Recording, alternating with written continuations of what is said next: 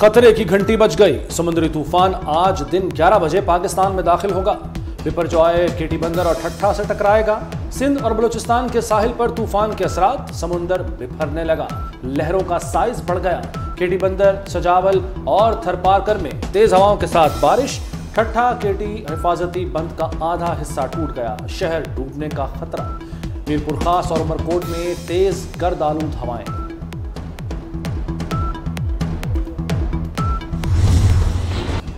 कराची में urban flooding का खदशा, शहर में कहीं बूंदाबांदी, कहीं हल्की और कहीं तेज बारिश। हॉक्सबे के समंदर में तोखियानी कराची से मनोड़ा जाने वाला जमीनी रास्ता जुजवी मुनकता हो गया। इब्राहिम हैदरी में समंदर का पानी आबादी में दाखिल, शहरियों के समंदर जाने पर पाबंदी गई। तूफ़ान कराची से दूर चला गया रुख शिमाल मशरक की तरफ़ मोड़ लिया।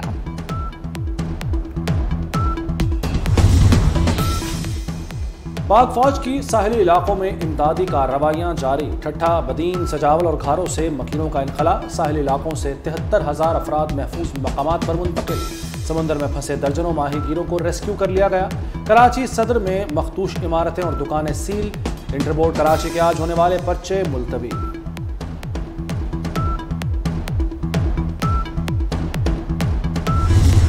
इसका मतलब कराची में, क्योंकि बहुत क्वेरीज आ रही हैं, कराची में एग्जैक्ट लैंडफॉल नहीं होगा, लेकिन उसके असरात के हवाले से, यानी टाइडल वेव्स और तूफ़ानी हवाएँ और बारिशें, ये एन मुमकिन है और एक्सपेक्टेड हैं डस्ट स्टॉम्स वगैरह। तूफ़ान के बाद मुल्क हीट वेव की जद में आ जाएगा। हीट वेव से बलोचिस्तान और सिंध सबसे ज़्यादा मुतासर होंगे। विफाकी वज़ीर बरए मौसमियाती तब्दीली। शेरी रहमान ने खबरदार कर दिया। कहती हैं, तूफ़ान के करीब पहुँचते ही कमर्शियल फ्लाइट्स को रोक दिया जाएगा। अवाम इंतजामिया के साथ ताउन करें। पेट्रोलिंग रिलीफ और रेस्क्यू के लिए तमाम इदारे मुतारिक हैं।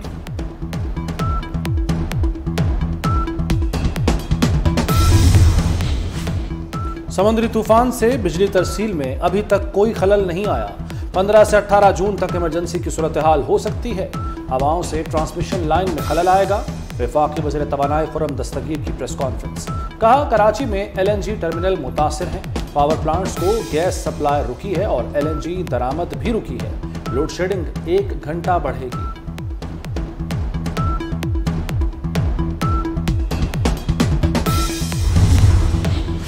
मुल्क के मुआशी हब पर हुक्मरानी की जंग कौन जीतेगा? कराची के मेयर का फैसला आज होगा। जमात इस्लामी को पीटीआई के फॉरवर्ड ब्लॉक का सामना।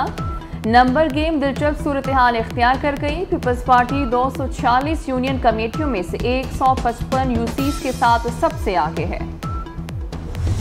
पीटीआई के बहुत सारे यूसी चेयरमैन ने ये मीडिया से बात की है कि वो इस प्रोसेस का हिस्सा नहीं बनेंगे। तो इस वजह से तो ज़ाहिर है हमारे नंबर जो हैं इस वक्त 173 हैं। और अगर जमायत इस्लामी पीटीआई मिलती है तो उनके 193 हैं। लेकिन ये जो 30-40 लोग वोट ही नहीं करना चाह रहे तो फिर जमायत इस्लामी और पीपल्स पार्टी का बहुत ज़्यादा फ़र्क है और हमें ज़्यादा अक्सरियत हासिल है। पीपल्स पार्टी और जमात इस्लामी में लफ्जी गोलाबारी। वजर बल्दियात सिंध नासिर हुसैन शाह कहते हैं, पीटीआई के 40 से जायद यूसी चेयरमैन ने अलहदा ग्रुप बना लिया। अलहदा ग्रुप किसी की हिमायत नहीं करेगा। 30 से 40 वोट न पड़ने से बढ़तरी पीपल्स पार्टी की होगी।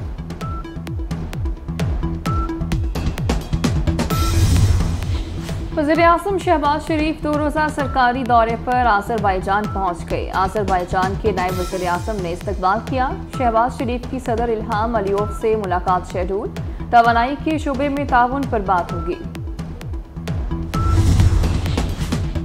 रूसी तेल लाने वाले जहाज़ प्योर पॉइंट से तेल की मुंतकली मुकम्मल। जहाज़ इतवार को कराची की बंदरगाह पहुँचा। चार रोज में तेल मुंतकिल किया गया। रूस से दूसरा तेल बरदार जहाज़ आइंदा हफ़्ते कराची की बंदरगाह पहुंचेगा। शाम को दूध पिला के पाला गया और उसने नौ मई को डसा इस कौम को डसा। परवेज लाई हुक्मरान था। वो तरले करता रहा। वो गिट्टे पकड़ते रहा उसके ना तोड़ो। कोर कमांडर हाउस के बाहर। आपके एहसासे, आपके दफाई एहसासों को अटैक किया गया। लोग दो दो तीन तीन जो है, वो वज़ीर आज़म खा गए हैं। हजम कर गए, डकार भी नहीं लिया। फांसी लगा दिया, किसी ने किसी ने कोई पीछे मुड़के भी नहीं देखा। खान आसिफ ने अदलिया ब्यूरोक्रेसी करप्ट सियासतदानों, प्रॉपर्टी डीलर समेत सबको लताड़ दिया। कहा, अदलिया, ब्यूरोक्रेसी और हुकूमती नाअहली का गठजोड़, खराब मुआशी सूरत हाल का सबब है। 16 लाख तनख्वाह लेने वाले तड़ियाँ लगाते हैं। ये लोग तीन तीन वजर आज़म खा गए। फांसी लगा दी तारीख से मुआफी भी नहीं मांगी। गरीब के पास खाना नहीं, अमीर के लिए कानून बदल जाता है। कंपनियाँ 500 अरब का टैक्स चोरी कर रही हैं। डाकू इस मुल्क में कौम को तालीम दे रहे हैं, जिस शाम को दूध पिलाकर पाला क्या, उसने ही 9 मई को डसा।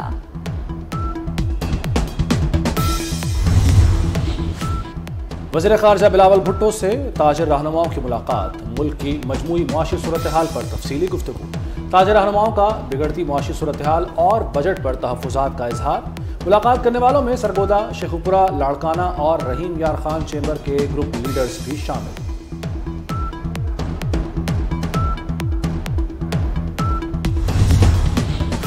जुडिशल कमीशन ने chief justice Peshawar high court की सुप्रीम कोर्ट में तैनाती की मंजूरी दे दी। Justice Musarrat Hilali supreme court की दूसरी खातून जज होंगी।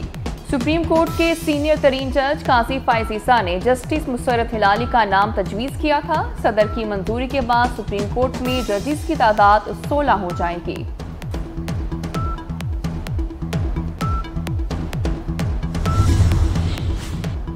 तोशाखाना घड़ी केस में मुमकिन गिरफ्तारी, लाहौर हाईकोर्ट से बुशरा बीबी की 21 जून तक हिफाजती जमानत मंजूर।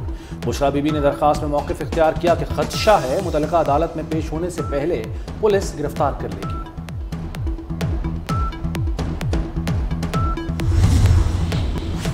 आलमी बैंक ने पाकिस्तान के लिए 20 करोड़ डॉलर इमदाद की मंजूरी दे दी। रकम सैलाब मुतासरीन की बहाली और तामीर नौ के लिए खर्च होगी। पचपन लाख मुतासरीन को फ़ायदा पहुंचेगा। कंट्री डायरेक्टर आलमी बैंक का कहना है कि खैबर पख्तूनखा के देही इलाकों की तामीर तरक्की के लिए फंड्स मंजूर किए गए।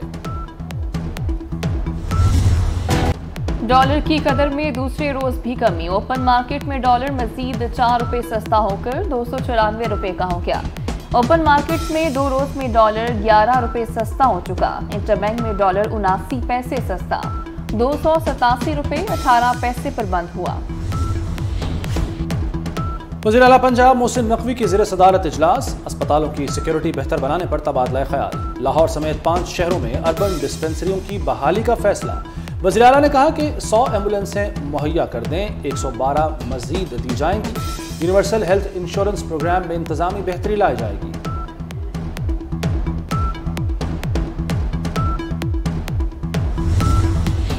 विफाकी वज़ीर इतलाफ मरियम औरंगज़ेब से फ़िल्म, स्टेज और टीवी आर्टिस्टों की मुलाकात। बजट में फ़िल्म फाइनेंस फंड और हेल्थ इंश्योरेंस के लिए खती रकम मुख्त करने पर इजहार तशक् वज़ीर इतलात ने फनकारों के मसाइल हल करने की यकीन दहानी कराई।